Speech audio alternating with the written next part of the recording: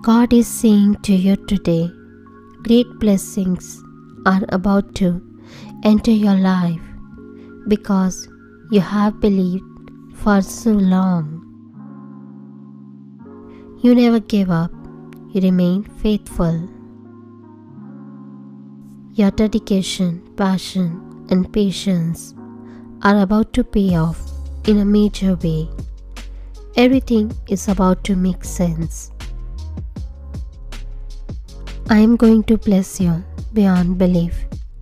I am going to turn your lack into plenty, your test into a testimony, and your confusion into clarity. You are going to make it. You may be tired, discouraged, and frustrated, but don't give up. I am about to open doors for you. Your situation is about to change. I saw what they did to you. I felt you dealing with it in silence in hurt. I watched how they hated and tried to destroy you.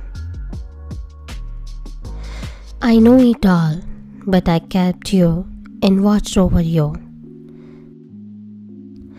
I have prepared a table in the presence of your enemies. This is your season of blessings, favor, and breakthroughs.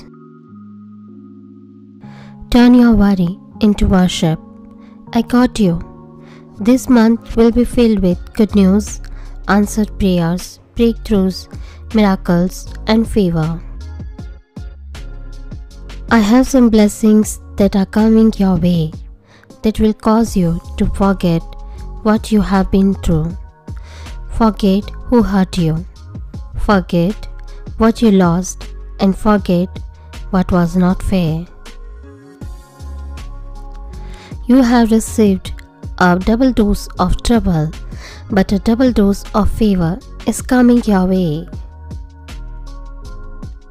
Blessings are coming your way. Amazing things will happen for you and your family this month. God is saying, I'm so proud of you. Keep going. I'm going to bless you in so many unexpected ways. This is just the beginning. Type Amen if you believe in God. If you like this message, please subscribe for more and hit the bell icon to get new video notification.